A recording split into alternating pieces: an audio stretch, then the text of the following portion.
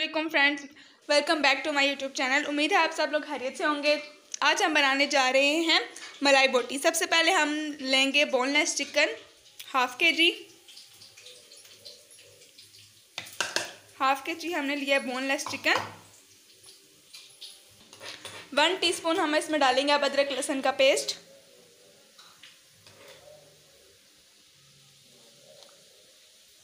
अब हम इसमें डालेंगे one and half teaspoon black pepper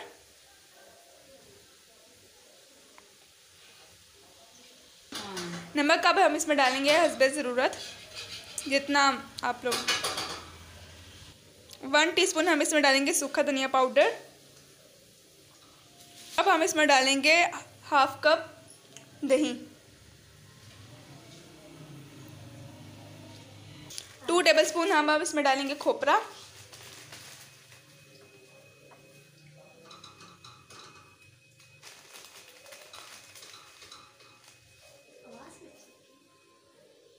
अब हम इसमें टू टेबलस्पून ऑयल डालेंगे।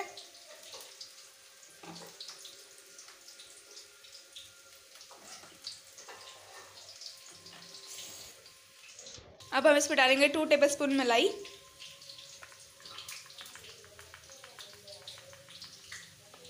अब हम इसमें डालेंगे वन टेबलस्पून घी।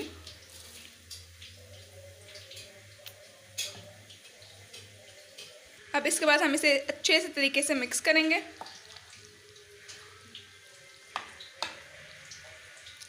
आपने सही से इसे मिक्स करना है ताकि जो है इस हमने जो मिक्सचर डाले हैं, वो सही से जो है चिकन के अंदर मेल्ट हो जाए। हमने इसे अच्छे तरीके से मिक्स कर लिया है।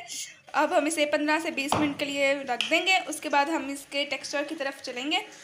आपने, आप ये ज़रूर ट्राई कीजिएगा। मलाई बोटी बहुत ही मज़े की और इसका कलर भी बहुत अच्छा लग रहा है और आप मेरे चैनल को ज़रूर सब्सक्राइब करें लाइक और शेयर और बेल आइकन के बटन को प्रेस करना मत भूलें। आप मेरे चैनल को सब्सक्राइब करें ताकि रोज़ाना आपको कोई ना कोई वीडियो आसानी से मिल जाए। मिनट हो गए हैं, हमने जो मैरिनेशन के लिए रखा था, वो हो गया है। अब हम इसके टेक्सचर की तरफ़ चलेंगे। एक हमने पैन लिया, उसके अंदर हम हाफ़ टेबल स्पून जो है ऑयल डालेंगे। और ये जो है, अब हम इसे थोड़ा सा गर्म करेंगे। अब तेल जो है वो गर्म हो चुका है थोड़ा थोड़ा उसके बाद हम इसके अंदर जो है दो अदद मैश किया हुआ प्याज डालेंगे।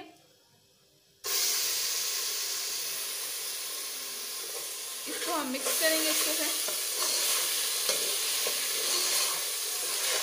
इसको हमने ब्राउन नहीं करना, इसका सिर्फ़ हमने जो है वो कच्चापन ख़त्म करना है। हमने इसे जो है प्याज को पाँच से साठ मिनट तक भून लिया है। अब हम इसके अंदर डालेंगे मैरिनेट किया हुआ चिकन। अब हम इसमें डालेंगे मैरिनेट किया हुआ चिकन। इसको अच्छे से मिक्स करेंगे, उसके बाद हम इसे 15 से 20 मिनट तक लो फ्लेम पे पकने के लिए रख देंगे।